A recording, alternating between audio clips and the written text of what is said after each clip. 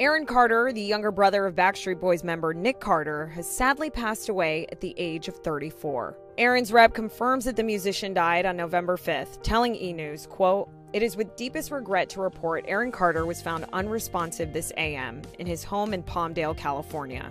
A cause of death has not yet been revealed. Aaron, who rose to fame in 1997 with the hit Crush on You, is survived by his 11 month old son Prince with Melanie Martin. Aaron's death follows years of personal turmoil. In 2019, he opened up about his mental health, sharing that he suffered from multiple personality disorder, schizophrenia, anxiety, and manic depression. Aaron has also been candid about his struggles with substance abuse. In September, he revealed that he voluntarily checked into rehab for the fifth time in order to regain custody of his son, who had been under the court ordered care of his maternal grandmother.